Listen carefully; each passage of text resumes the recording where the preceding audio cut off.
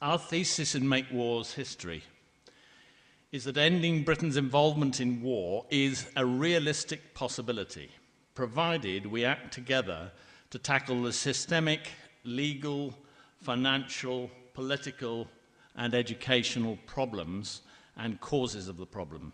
We're currently involved in two illegal wars, and in the past six years, we've murdered somewhere between 250,000 and 1.2 million people. And the best estimates that we have is that is around 1 million people have died violently in Iraq and Afghanistan as a result of the illegal invasions and occupations of their countries. We have injured and maimed 2.5 million people in the same period of time, and we have driven 4 million into exile and destitution, both within their country and outside of Iraq. I believe this to be the worst atrocity in British history. I cannot think of another time in the last thousand years where we have deliberately and intentionally gone out and murdered 300,000 children. It's just quite unbelievable. Now, if you divide 300,000 into 2,100 days, something like that, that's an awful lot of children every day. Roughly one every 10 minutes we are murdering there are numerous laws which have been broken. The first one is the Treaty for the Renunciation of War. It is the single most important treaty this country and the rest of the world has ever signed.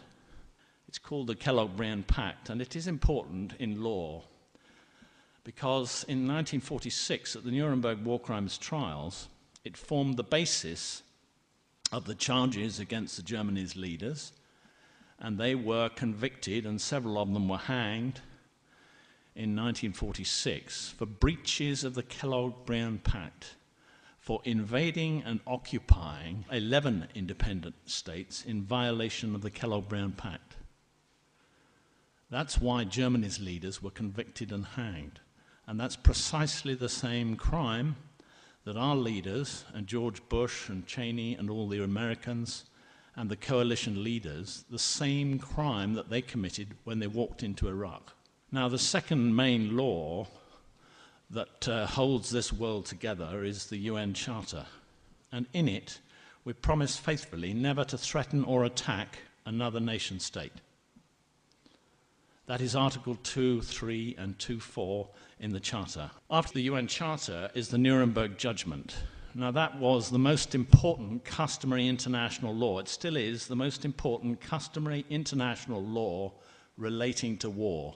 In 1948, we signed the Genocide Convention, and we agreed that we would never kill, set out to destroy members of a national, ethnic, racial, or religious group, in whole or in part. And what we've done by attacking Iraq is kill Iraqis for the sole reason that they are living in Iraq. That is setting out to destroy members of a national group. It is, in law, an act of genocide. In 1948, we also had another version of the Geneva Conventions. And the important thing about the uh, 1948 Geneva Convention is that it protected civilians for the first time. Since then, we have been attacking civilians more and more. And our government has attacked Iraq, and the numbers of deaths in Iraq is well over 90% civilians. Probably the most important war law that has ever been agreed was the Rome Statute of the International Criminal Court. In 1998, this was signed by 132 nations, and it came into force on July the 1st, 2002, when the 60th state had ratified the convention. Now, ratification means bringing, bringing an international law into your domestic national legal legislation. And uh, Britain actually ratified this on September the 1st, 2001. It became law in England and Wales. And on September the 8th, it became law in Scotland.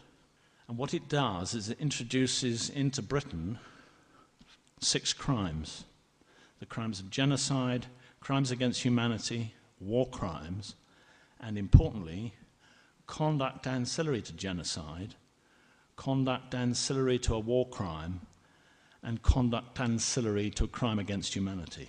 It is the single most important, tightly defined war law that we have in England and Wales.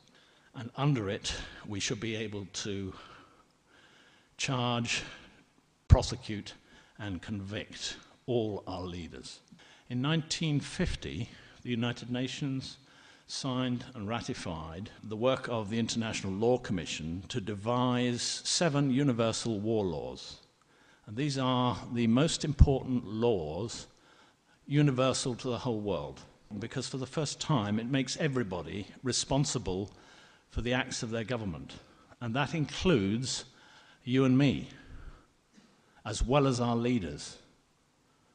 And so now, in law, anyone who is complicit in a war of aggression, which is the seventh Nuremberg principle, is liable for an international crime and is criminally liable for punishment.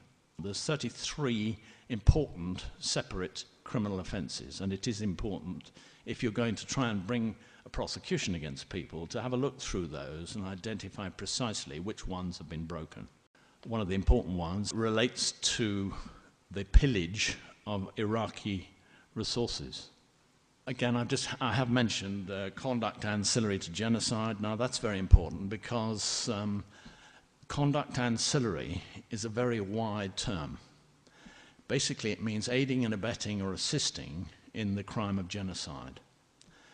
And in the Rome Statute, they have specified that very clearly, including in section 25.3c, where they say, including providing the means for the commission of the crime. Now that's very clear. That means providing the money, the materials, the troops, the supplies, anything that will facilitate the commission of the crime. Now, thinking about that, if our government has committed genocide, then every taxpayer who has paid tax in the last six years has committed an offence of conduct ancillary to genocide. Now, one of the most effective ways of bringing an end to what's going on is to stop the flow of money. If the government has no money to pay the troops, or to buy the weapons, or to get the supplies, war will stop within a week. And it is the single most effective thing we can do as a nation is to stop the money a lot of people seem to be scared of this. And I keep saying, well, look, hang on, you've got the law on your side. It is a criminal offence of conduct ancillary to genocide if you hand over your taxes to the government. So don't. Don't commit any criminal offences. So you have the law on your side. Even if you are a pensioner, your pension provider will be taking some money out of your account and sending it to the government as taxes. Your bank will be taking any uh, a percentage of your interest earned as tax and paying it to the government. Every time you go in for a cup of coffee, the VAT goes to the government. Every time you pay a parking charge, that is a criminal offence of conduct ancillary to genocide under the International Criminal Court Act. I get into a lot of trouble when I say that the Queen is one of the worst war criminals we've ever had in this country. And I will say it again. What I'm concerned about is that she is the person who signs the orders. Our troops never go overseas, never attack or use weapons unless they are ordered to do so by the Queen or the monarch. What we need to also look at is who qualifies as a criminal, a war criminal, who is responsible for the killing of a million Iraqi citizens, including 300,000 children. Now, broadly, obviously, it's those people who lead the attack, who plan it, who organize it, and that falls fairly and squarely on the shoulders of Tony Blair, Gordon Brown, Jack Straw, Geoff Hoon, John Prescott, Lord Goldsmith. We must, must stop what is going on and get these guys into court so they can answer for what they've done before a, a jury.